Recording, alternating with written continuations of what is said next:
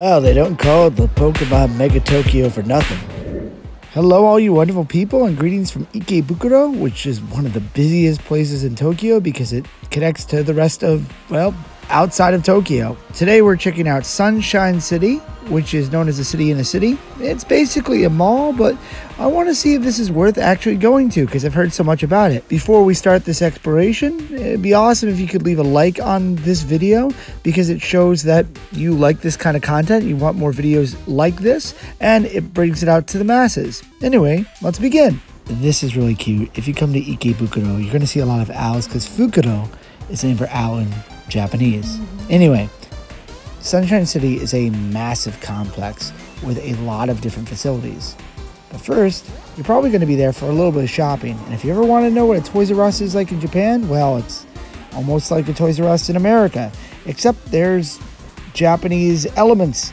Right here, you'll see the dolls that are set up for Hime Matsuri, which is the girls' festival. And these are very, very popular around March because that's what Girls' Festival is. You'll also find a lot of robots and well, Japanese centric toys because you're in Japan. Of course, Pokemon are there as well, but don't worry, we'll get back to that later. Oh yes, my favorite Marvel character. Old Biff Tannen and young Biff Tannen. Oh, excuse me, Griff Tannen. And there's more than just chain stores here. You'll find typical Japanese candy shops that sell more than just candy and foods. They also sell poop on a stick.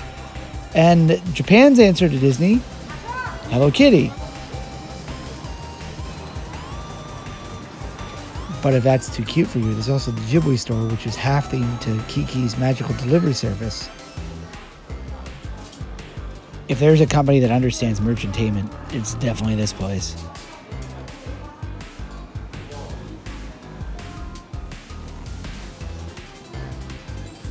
I'm seriously not kidding about the owls. You, you will see them everywhere in this like area. But if you go on the roof, you'll actually find a aquarium and also a planetarium. In one's personal opinion, for what they are, they seemed a little costly. On the top floor, there's an aquarium and a planetarium, but I don't think they're going to be worth the cost of admission. But I found something very strange up here. This is something I did not think existed. This is an insect vending machine. Now, I've seen insect vending machines before that have toy fighting beetles inside of it, but this is food. There are like scorpions and spiders that you can buy to eat. I did a little research on this, and most of the bugs come from Thailand, where it's a lot hotter and there'll be a lot more population of bugs. Now, I don't know who this is for, but the bugs were not cheap. But at the worst, it's an amazing talking point because I have never seen a bug vending machine before in my life, and I don't know if I'll ever see one again. And if vending machines are your thing, they have the world's largest gachapon store inside of Sunshine City. Uh, now, what is a gachapon? Gachapon are the things you turn around and around and around, and a little ball comes out with a little capsule.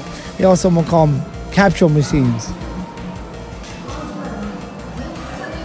This one in particular costs $5 to do. But it's exactly what you'd expect rows and rows of capsule machines. And they also had every muscle character ever made. Did, did anyone collect these when they were younger? Because I know these are worth a lot and I know they're extremely collectible. I know this guy really well. There's also an indoor theme park called Namja Town, which doesn't seem up my alley. I think you can play with cats in there. I know there's a haunted house in there and there's like small little attractions you have to pay for. It just doesn't seem worth it. Here's a second strange vending machine right outside of that. It's a gyoza, like a pot sticker vending machine. Never seen one of those before, and that might be worth the money because those things taste amazing. And on the second floor is an entire level dedicated to Pokemon. Now, I've seen a lot of Pokemon stores in Japan. This is the biggest, not the best themed. The best themed is next to the Nintendo store in Shinjuku.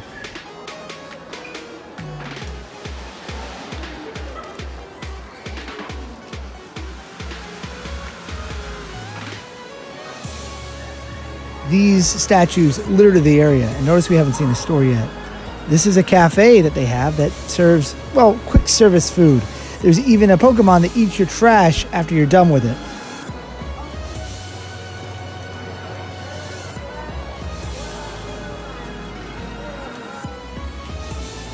Then there's the actual store. I'd imagine that if there was any Pokemon related thing that was ever made, it would be here. They have Pokemon pasta, they have Pokemon ramen, they have Pokemon socks. I don't know who this is for, but they've got it if you really want it. Personally, I can identify about 150, 151 of these characters, but I mean, who, who is this? This little blue guy down there. Who, who is it? And I noticed that there was a huge popularity of the Eevee uh, evolutions. The blue one was like sold out. I'm not sure why. There was a section for their like dollar each play arcade games, more statues, and then also a Pokemon Go section.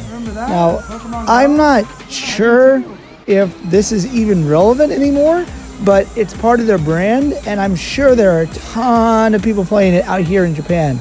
I remember back in Osaka when I used to play it, and I saw a rush of people in a very hot spot for this game try to find a Lapras. A Lapis? A Lapis. And everyone was running, like just dashing to this one place. Women were holding babies of like four or five months, running as fast as they could to get this virtual thing. I can see why uh, NFTs are so popular because everyone wants that, that thing that's like tangible and it's theirs, and they say, I, I claim this. But I, I guess that's collecting. And on that point, I know these videos come off as like pro consumerism.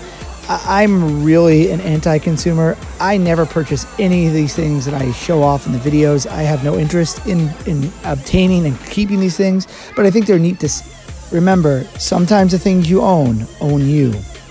And to close out the tour of Sunshine City, here is the One Piece store with an in his prime Tim Curry. You can find stuff from One Piece here. I know it makes me a hypocrite talking about anti consumerism, but hey, it's cool stuff as well. Anyway, that's Sunshine City. Do you think that this place is more than just a mall? Do you think it's an experience? Would you want to come out here? Is it worth it? Do you think the uh, planetarium or the aquarium would be worth going to? Let me know in the comments. And once again, thank you for leaving a like and thank you for making it to the end of these videos. It really means a lot to me and it helps other people see videos from Japan and see places they probably never will actually travel to. But as I always say, you can do it, I can do it, we can all do it. Stay groovy and have a wonderful day. Peace.